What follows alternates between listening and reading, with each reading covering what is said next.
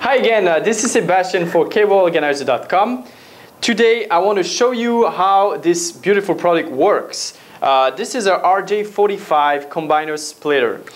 Um, this is a great product that can make your life so much easier. The only problem is that people are usually confused on how it works. So let me explain to you a little bit better.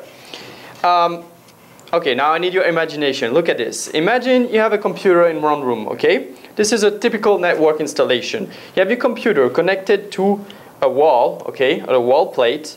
Behind the wall, there's a cable running all the way to another room, okay? From that room, you get the cable coming out and going to a switch or router, okay?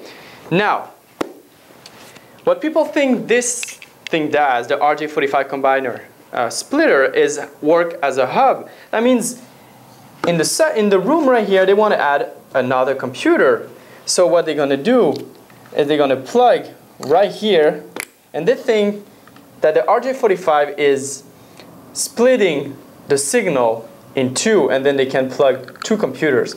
This is not quite how it works. Let me show you. If you want to add another computer, then yes, you're going to have to plug one of the RJ45 on this hand, but you're to have to add another one at the other hand because what this does is that at one, one end, it's to combine two signals into one cable, and at the other one, it's to split that signal into two, uh, two other cables, okay?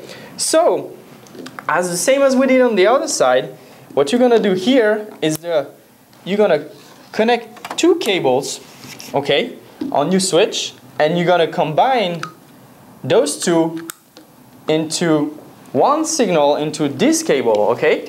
What's the advantage of this? Well, it's pretty clear. You don't have to run another cable between the two uh, rooms, you know? I can save you a lot of time and a lot of pain because it's never easy, okay?